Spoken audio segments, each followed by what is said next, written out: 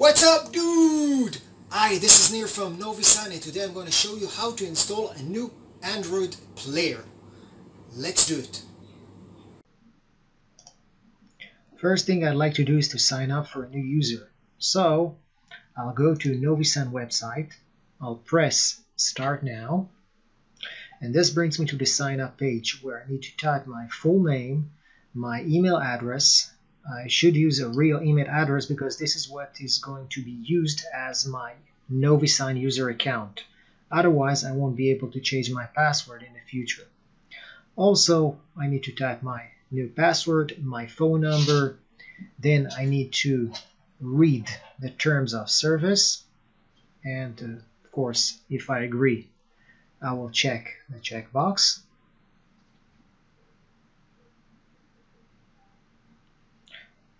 And last thing, I will type my company name in case I have a company. And last thing, I'll press the button, create an account.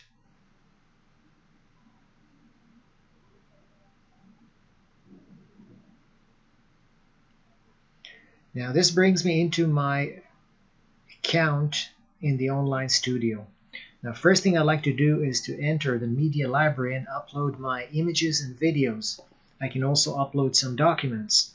So I need to press the upload, then choose a couple of images or videos from my desktop. Now it's going to upload them one by one.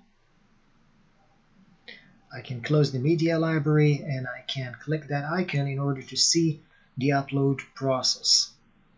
I can see that it's progressing, almost finished and now I have three images and two videos in my studio account which were uploaded from my desktop. Can close those notifications and if I'd like I can upload more media files.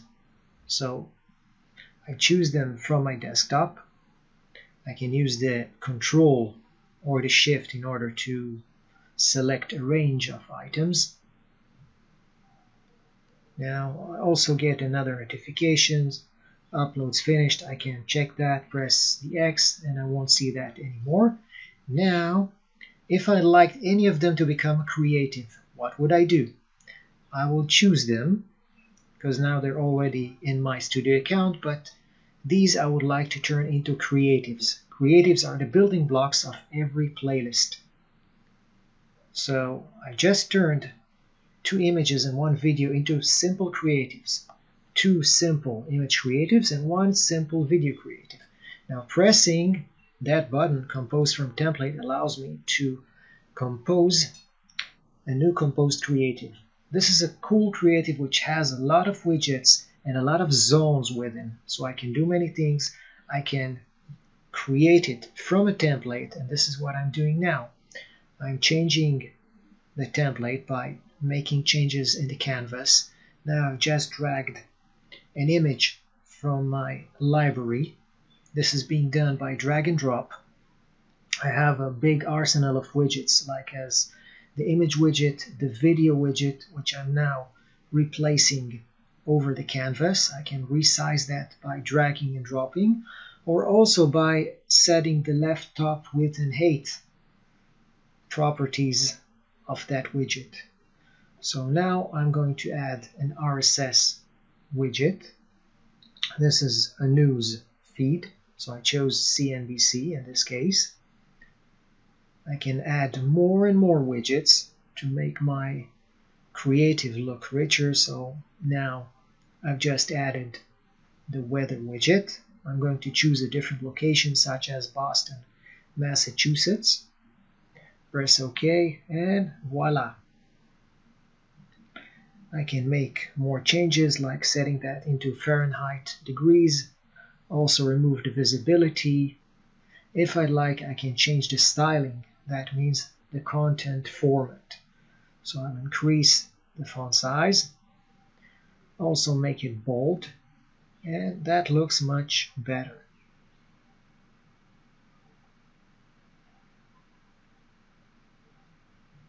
If I like, I can also set a different background. Gradient, solid, different colors.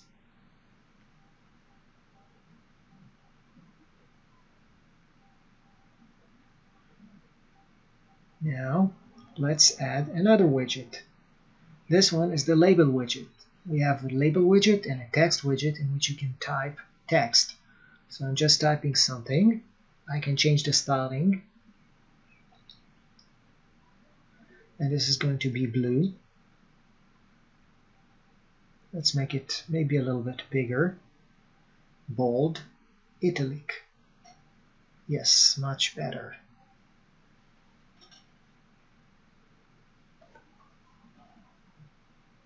Now let's add a clock widget.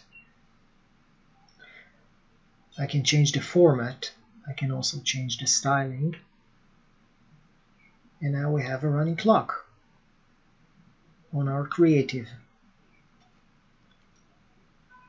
Let's change the background, make it look a little bit different than the other widgets on the canvas.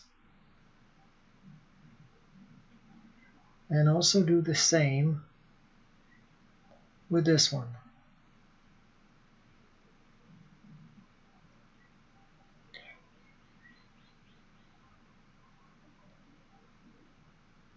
The last thing I'd like to do is to change the creative name into something which has some meaning, such as my first composed creative. I'll press the save button in the top right corner in order to save the creative. You can see the red progress bar from left to right and I can also press the preview button in order to get a preview of how this creative is going to look.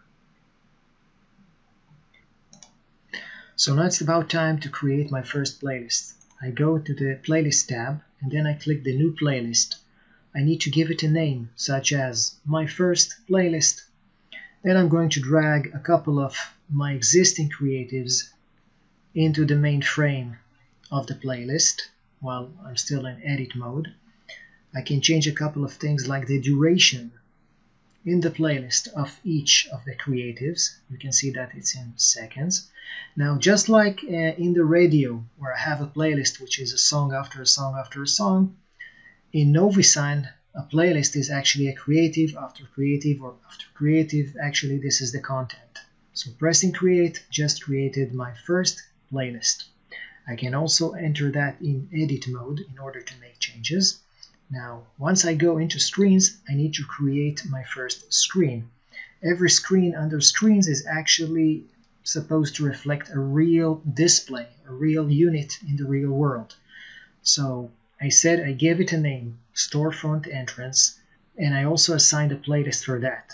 So this is all that needs to be done. I can also modify my playlist even after I assign that to a screen. I can change the scheduling. And this is what I'm doing now. I'm setting some of the creatives to play on certain days in the week or on a certain date. So they're going to be scheduled to be played in the future. After I do all this scheduling I just need to press OK then press the update and my playlist is ready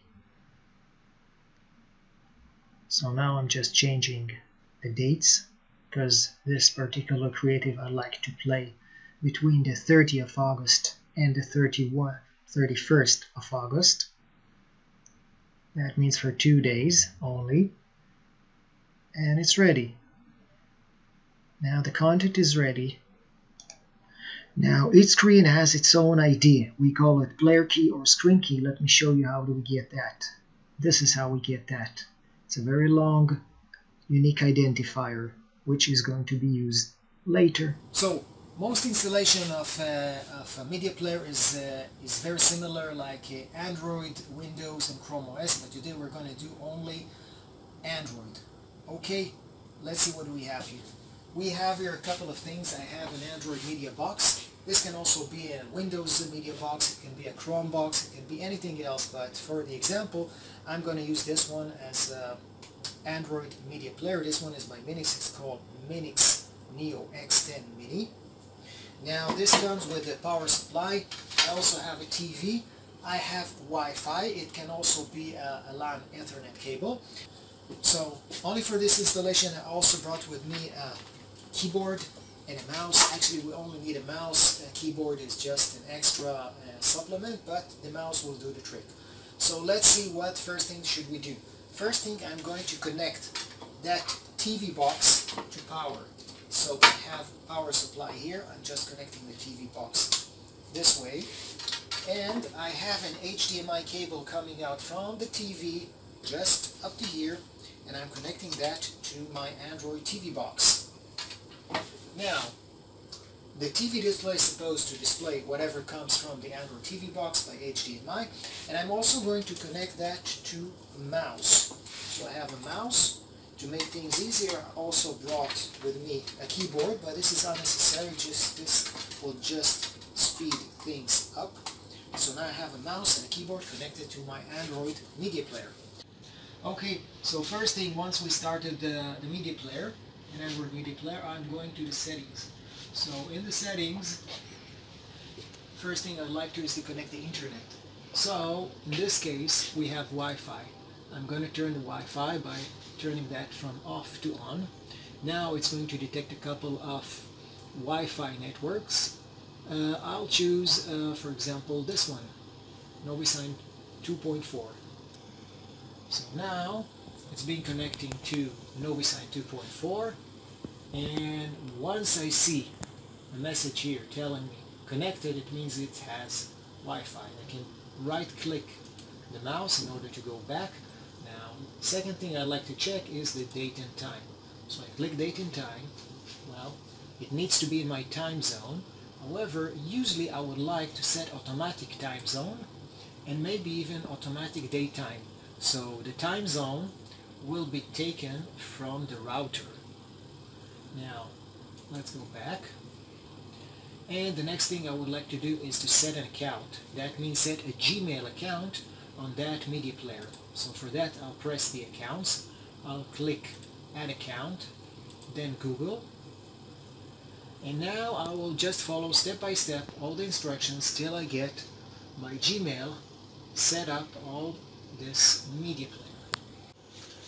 Okay, so I set up everything. Everything is configured on my media box. Next thing I'm going to do is to download the Novisign app. We also call it the player app. This is the native Android app that's supposed to run on this media player. So there are two options to do that. First option is to open a browser. And when I open a browser, I can go to our download website, which is actually app novisign.com slash downloads. Now once I go to this website, let's press go, then I'm going to see always the last version, the ongoing version of the Android APK. I can download that from here just by clicking that. However, for this demonstration, I would like to show you how do I do that from the Google Play Store. Now, Google Play Store is an app that brings me to the Google Store, also known as the Market. Here I would type Novisign, and look, it already found something. Okay, so I found the Novisign Digital Signage app. I'm just gonna click it, then press install, and now it's going to download the app on my media player. And once it's there it's going to give me the option to open the app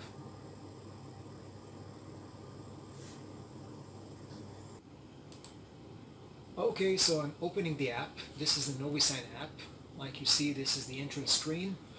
This is where I type my screen key or actually I can choose I can choose the, the screen from my account and this is what I'm just going to do now. I'm going to type my username. And the username which I chose was dude smith at novisign.com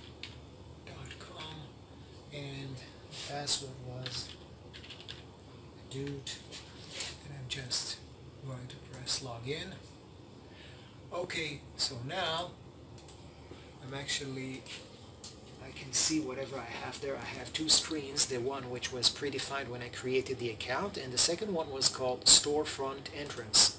Okay, I'd like to have this, um, this uh, player app, this media player to appear and stand in front of my store in the front entrance.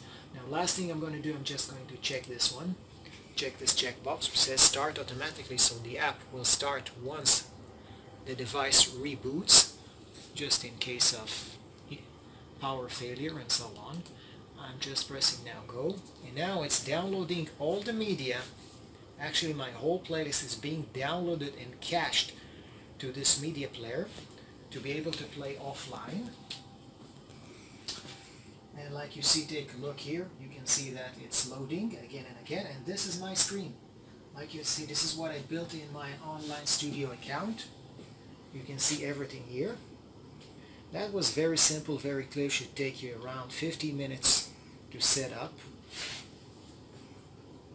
And once I see that everything works okay and I'd like to put it in production I can right click to exit my playlist then I'll click the gear icon in order to access the NoviSign settings of our app and here the only thing which I need to do is to turn off the display notifications because now when I'm sure that everything runs smoothly, I'm going to turn that off in order not to see any notifications, such as notifications when there's no internet. I'm going to right click to go back, press go, and it's up and running. Okay, now just to show you what happens when I plug it off power. Let's say that this is a power failure. Okay, no power. Now I'm putting that back power now it's back. By the way, no need for mouse, definitely for, not for keyboard. So we just have the media player with HDMI connected to the TV and power, that's all. Internet will come from Wi-Fi and if there's no Wi-Fi it will keep playing everything it has from cache. All the media was cached to, was cached to this unit. So let's see what's going to happen now.